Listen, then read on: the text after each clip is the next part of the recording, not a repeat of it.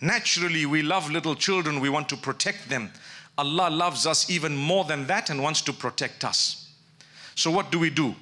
Well, we can talk about it from two different angles. One is that which is connected to this world and protection. I want to be protected because as I grow older, I might be first in my class. I might do very well at, in sports. I might become perhaps something that others haven't. Jealousy may overtake them and they may want to harm me. Look at the story of Yusuf alayhi salam. His own brothers were jealous of his closeness to his father to begin with. And later on, the brothers were jealous in so many different ways. And that jealousy resulted in them wanting to plan the, the destruction of their own brother. Who was that?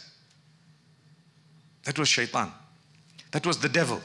And how do I know it was the devil? Well, Yusuf alayhi salam was a prophet of Allah. And at some point he says, later on, when everything was exposed, he told his brothers, he said, You know what? I forgive you. Don't worry. No retribution today. Allah has blessed me in so many ways, and Allah did this for me and that for me. After the time when shaitan had come and separated us. من بعد أن نزغ الشيطان بيني وبين إخوتي. He says, after shaitan had come and done what he did.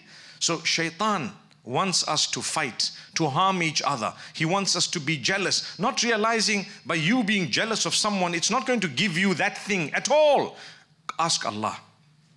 If anything, Allah tells you when you help someone, we will, we will help you even more than you've helped that person. When you help someone come up, we will make sure that you're even higher. And the heights in the eyes of Allah are not only the heights of this world.